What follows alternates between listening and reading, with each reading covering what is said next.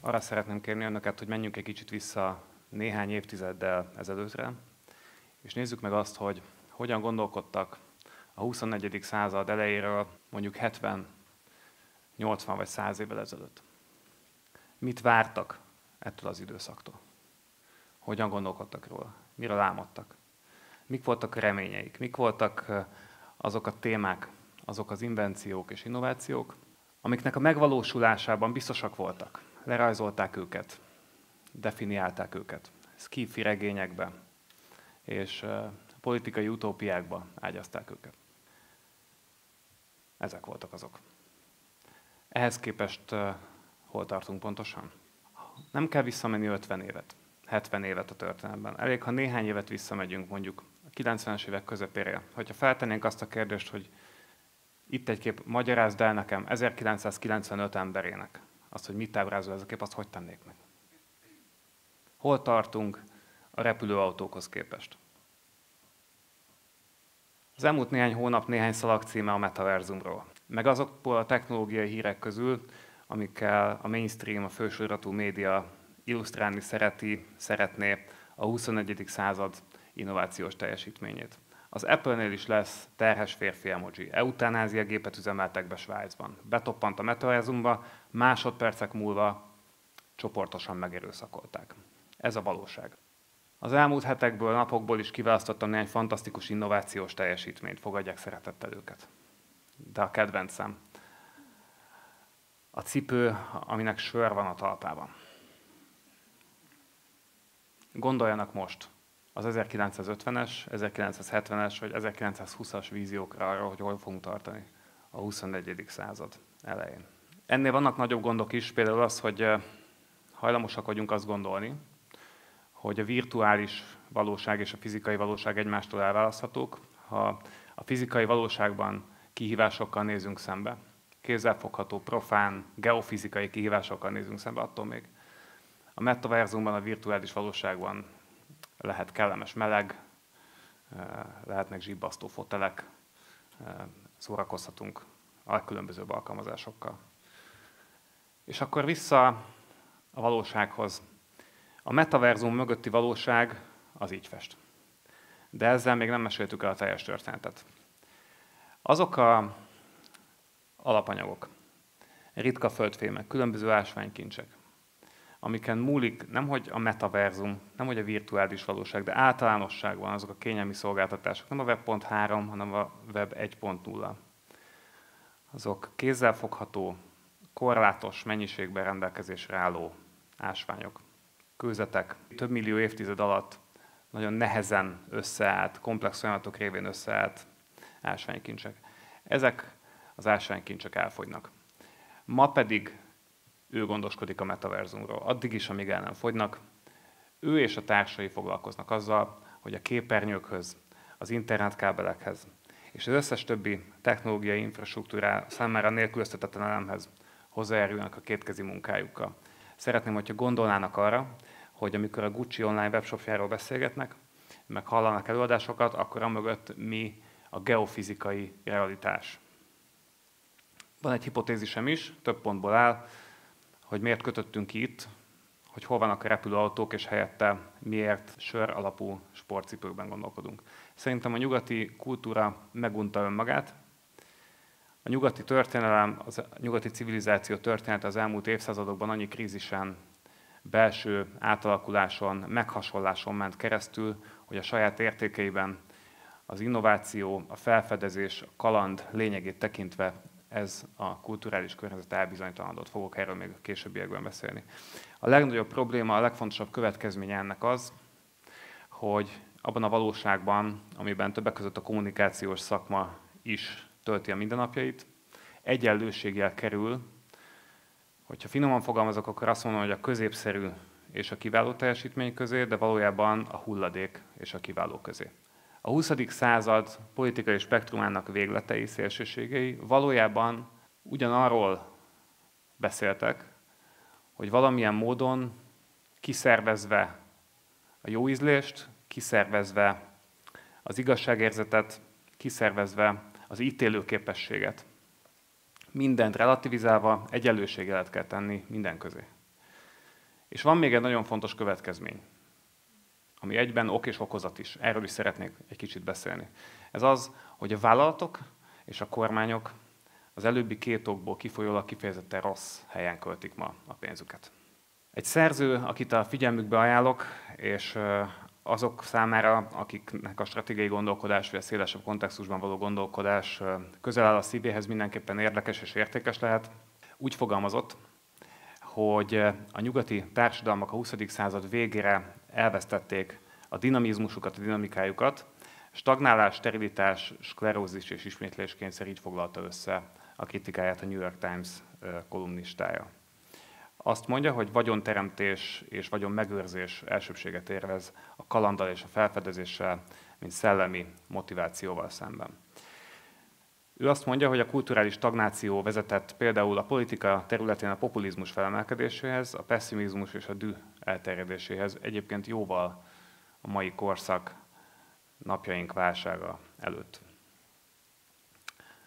Mi volt az elmúlt időszak, hogyha szélesebb horizonton vizsgáljuk, mondjuk az elmúlt néhány száz év legfontosabb találmánya? Mi az, amire kérdőjelek nélkül azt mondhatjuk, hogy egyértelműen megváltoztatta és jó irányba vitte az emberiség történetét? A fertőtlenítő. A fertőtlenítő drámai mértékben hozzájárult a gyermekhalandóság visszaszorulásához, a modern egészségügy megteremtéséhez, várható élettartam növeléséhez. Egy olyan dolog, amit ma természetesnek veszünk, úgy tekintjük, hogy magától értetődő a jelenléte az elérhetősége.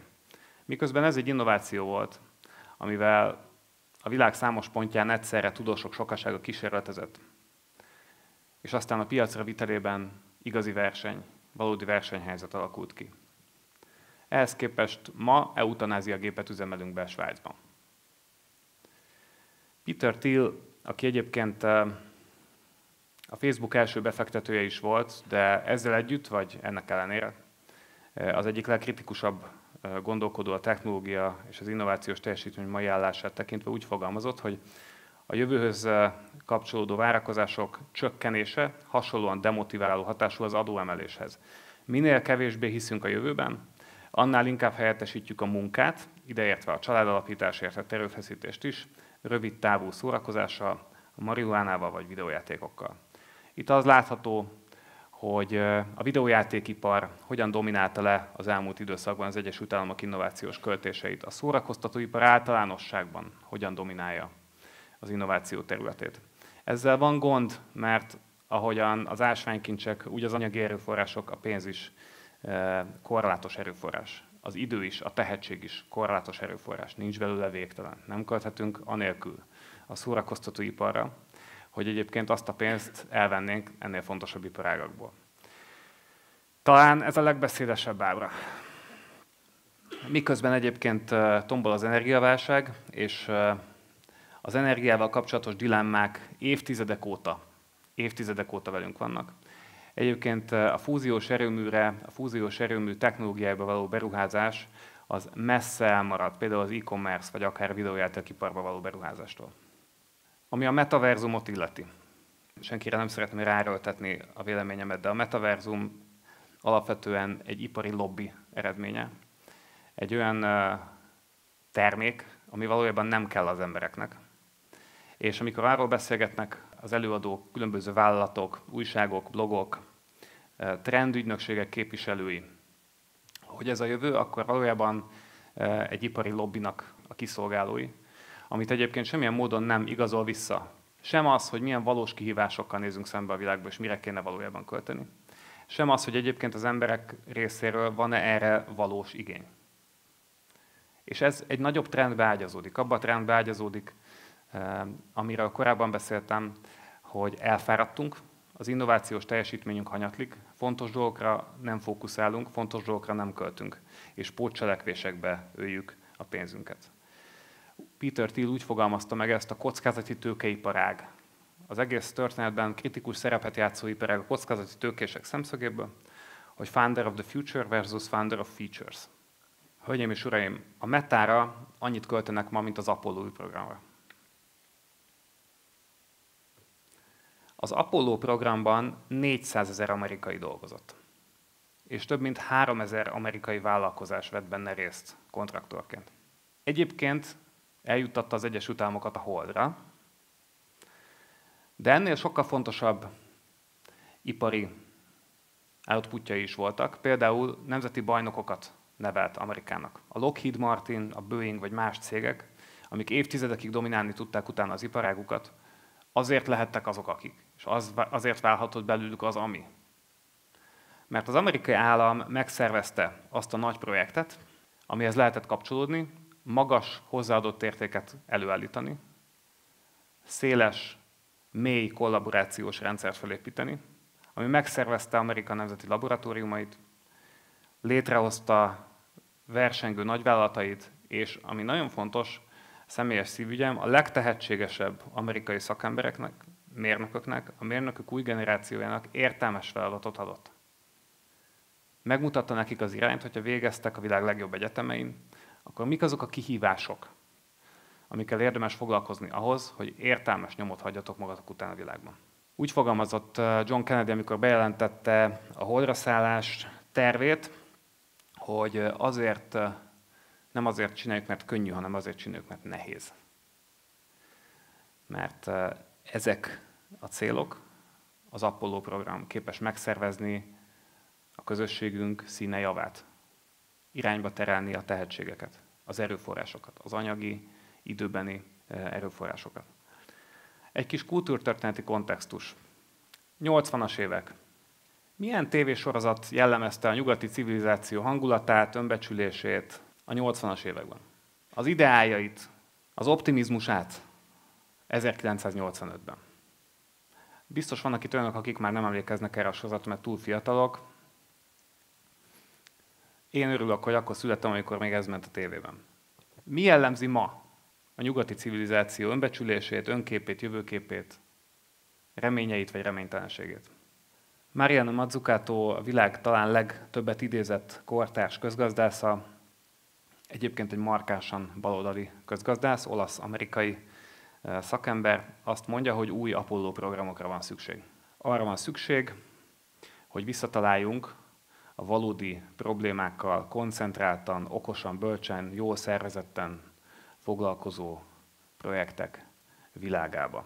Azt mondja, hogy az elmúlt néhány évtizedben a multik, a nagyvállalatok sikeresen meggyőzték a kormányokat arról, hogy csökkentsék az adóikat, folyamatosan csökkentsék az adóikat, ezáltal növekedhessen a profitjuk, és cserébe ők elvégzik az innovációs munkát. Ez volt az ígéret az 1980-as évek elejétől kezdve. Az adók valóban csökkentek. A nagyvállalatok profitja, hogy a széles időhorizontot vizsgálunk, akkor az 1980-as évek óta többszörösére nőtt átlagosan a világban. Egyébként az alkalmazottaknak a bére ehhez képest szinte alig dőtt. De az innovációs meló nem lett elvégezve. Ott sörtalpú sportcipőknél tartunk. Néhány kivételtől eltekintve. Mariano Mazzucato azt mondja, hogy a klímaváltozás, az antibiotikum rezisztencia és egy csomó minden más probléma ordít azért, hogy a kormányok újra megszervezzék a saját innovációs projektjeiket, és visszatérünk az Apollo program iskolájához. Mi a gond ezzel? Honnan lesz erre pénz?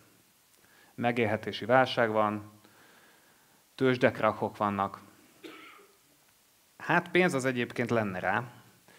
Erről sokat lehet olvasni akinek erős az idei rendszere, kifejezetten ajánlom Oliver Bullock könyvében, a Moneyland című könyvben. A számítások szerint a világ teljes készpénzállományának, az összes készpénznek, ami ma egyébként rendelkezésre áll, mint egy egyharmada adóparadicsomokban pihen. Egyharmada pihen adóparadicsomokban. Olyan helyeken, amik igazából nem létező országok, technikailag léteznek, de komoly földrajzi kiterjedésük nincsen, jelentős lakosságuk nincs. E, viszont egyébként amerikai közgazdászok tanácsára és konstrukciója mentén valamikor a 80-as, 90-es években létrehozták az adóparadicsom modelljét, és fenntartanak olyan intézményeket, ahol adóterhelés nélkül lehet nagy vagyonokat tárolni. Ez rendben van, de az, hogy a világ pénzének az egyharmada dologtalanul pihen a Karib térség szigetvilágában, az talán nincsen rendben talán nincs rendben. Azok a cégek, akik azt állítják magukról, hogy a világ leginnovatívabb cégei, nem, senkit nem szeretnék megbántani, ezért most nem fogok neveket mondani. De azok az internet óriások, saját területükön monopól pozíciót magukénak tudó cégek, akik szeretik és szokták magukat innovatív cégként lepesteni, valójában a világ legkevésbé innovatív struktúrái. 0 és 5 százalék között van az az aránya a költéséknek, ami innovációra megy, hanem adóparadicsomokba viszik, és azzal a pénzzel nem történik semmi. Arra persze így is van elég pénzük, hogy a világ legtisztább, legreménytelibb, legtöbbre hivatott elméit azt egy ilyen televényként magukhoz édesgessék, és maguknál tartsák. Aranykalitkába zárják azokat az elméket, akikre a klímaváltozás, vagy az antibiotikum rezisztencia, csak hogy Mariana Mazzucato két példát említsem, megoldásához, feloldásához, megváltásához szükség lenne. Ez a statisztika elég erős, tehát a Harvard Economics PhD diákjainak a 20%-át vitte csak tavaly csak az Uber. És akkor még nem beszéltünk a management consulting cégekről. Nem beszéltünk azokról a cégekről, akik kiszolgálják ezeket a technológiai óriásokat.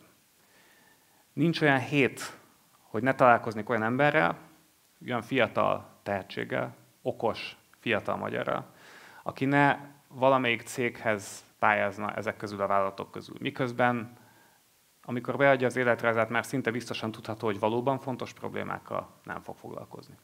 És a tehetségét el fogja vesztegetni. Volt egy Ivan Illich nevű gondolkodó, egy bosnyák születésű osztrák, filozófus, teológus, egyébként sokáig Közép-Amerikában volt közösségszervező, ki azt mondta, hogy minden technológiánál érdemes feltenni a kérdést arról, hogy az a technológia, akkor is, ha már beépült a mindennapjainkba, akkor is, hogyha már magától értetődőnek tűnik, az jó technológia vagy rossz technológia, az életvitelünk szempontjából, az életminőségünk szempontjából hasznos technológia, vagy nem hasznos technológia. És érdemes azokra a dolgokra is technológiaként tekintenünk, amiket 100, 200, 300 vagy 500 évvel ezelőtt találtak fel, mert akkor technológiák voltak, attól még ma lehetnek természetesek. Ivan Illich például azt mondta, hogy a városi piactér, ahol a tranzakciók mindenféle műfajban egymást követik, emberek találkoznak, ötletek találkoznak, termékek találkoznak és szolgáltatások találkoznak, egy technológia. A városi piac tér olyan technológia, ami jobbá tette az emberek életét. Szerintem a metaverzum olyan technológia, ami nem teszi jobbá. Azt tudom önöknek mondani, hogy két dologra van szükség, ami látszólag ellentmond egymásnak, de talán mégsem. Az egyik, hogy visszatérjünk a kihívásaink a szinkronáló nagy projektekhez, a komoly innovációs teljesítményhez, és a másik, hogy amikor kiválasztjuk ezeket a kihívásokat, és megfontoljuk, hogy mi beöljük a tehetségünket, a pénzünket, az időnket, akkor azokkal a kihívásokkal foglalkozunk, amik valóban körbevesznek minket, és amik a következő évtizedekben az életünk legfontosabb, sorsfordító kérdőjeleit adják. Az életminőségünknek, az életvitelünknek, az egészségünknek, a fenntartása, a túlélés. Mindezekről egyébként írtam egy könyvet is, vegyék meg, Köszönöm, hogy itt láttam.